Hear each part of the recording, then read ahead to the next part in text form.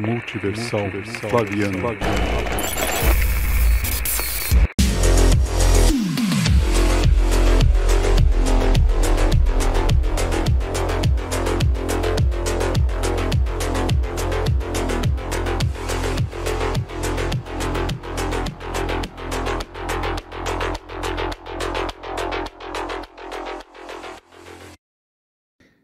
Pegando aqui um gancho do pensamento do Antônio Miranda, concito a todos a refletirem sobre o que eu vou falar a partir de agora.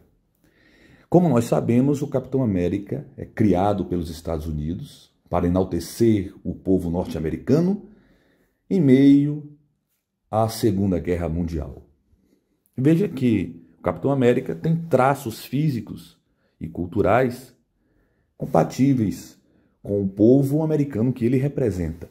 Agora, já imaginou o absurdo que seria se o presidente dos Estados Unidos resolvesse criar o Capitão América com traços de um muçulmano que eles acusam de ter atacado os Estados Unidos, inclusive contra as Torres Gêmeas no 11 de setembro? Já imaginou o Capitão América sendo Osama Bin Laden ou um outro muçulmano que eles acusam de terrorismo?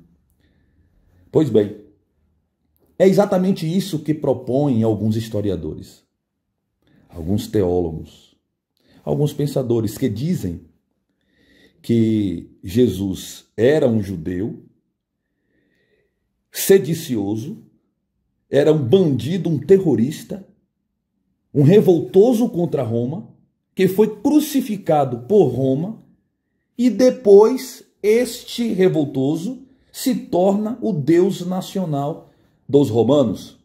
É exatamente este absurdo a que chegam esses pensadores, esses historiadores. Ou seja, o Capitão América teria, portanto, as características do seu próprio inimigo. Existiu então um Jesus histórico, assim como existiu um Osama histórico, e de uma hora para outra este personagem humano se transforma no Deus dos romanos. Não, não pode ser. Jesus, de fato, se transformou em um Deus romano, mas essa transformação só é possível se foi o próprio imperador romano que criou Jesus Cristo.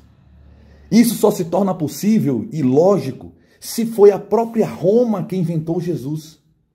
Porque aí sim, ele foi inventado, na verdade, não para exaltar o povo judeu, mas foi criado para exaltar o imperador. E é exatamente isso que nós vemos: o Jesus elogiando os romanos e os romanos na literatura elogiando, elogiando Jesus.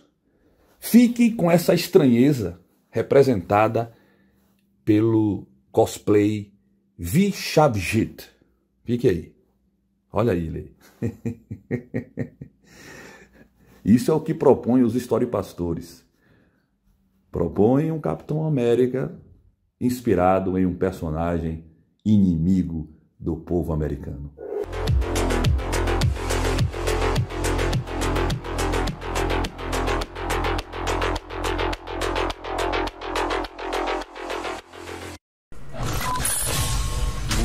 Flaviano. O Novo Testamento. Em seu verdadeiro contexto.